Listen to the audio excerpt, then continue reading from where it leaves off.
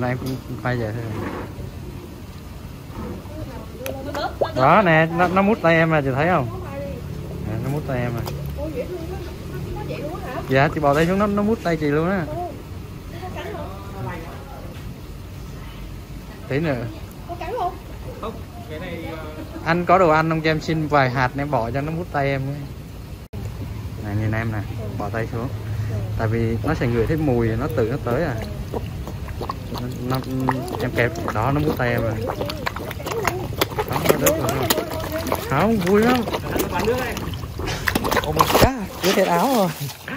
Ok, đặt cái bàn tay vô để nhìn thấy cái kích thước của nó nè. À, Đặt gần vô, đặt gần vô. Đó. Mình phải à, quậy quậy nước thì nó mới lại. Ok, đây là trên mặt hồ nè.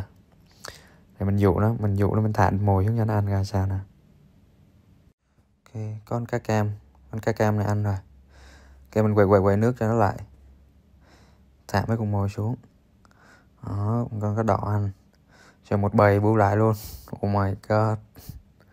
Oh my god. Đông quá đông. Ok bỏ tay xuống cho nó mút tay. Đó cái con cá vàng này khoái không? Khoái không? Ôi ôi ôi ôi ôi. Chết con cá to. Oh my god.